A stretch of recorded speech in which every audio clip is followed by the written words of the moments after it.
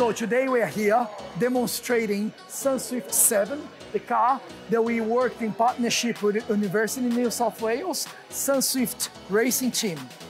And what we're doing here today is demonstrating for the first time the car that we powered with 5G. This is a solar panel car.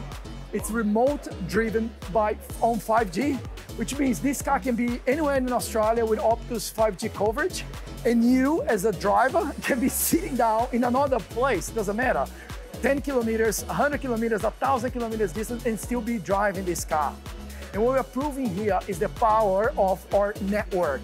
In our latest test with this car, we have achieved latency of 50 milliseconds.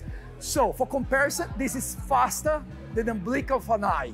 That's how fast the response is on this. So what we're doing here in this partnership is to demonstrate the full capacity of Optus 5G network.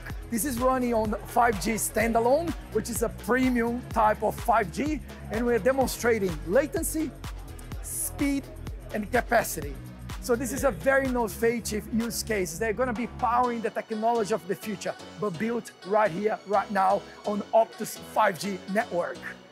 It's been amazing to see the amount of technology that we've been able to put on the car in such a short amount of time. We've been working really, really closely with Optus in such a collaborative relationship. And for us to be able to learn from them and work with them and work with people that are industry leaders has been absolutely phenomenal. I think it's so important for engineers and especially young engineers to have that level of exposure. And I think we're doing great things for women in tech as well. So we've got a really good uh, women representation in the team and we've been able to bring that into our remote driving project. Project like this, I think we've got to consider the education predominantly for the students. They're getting involved in technology that ordinarily they wouldn't do within a university. So to have these sorts of collaborations, these sorts of partnerships are absolutely unique to these guys.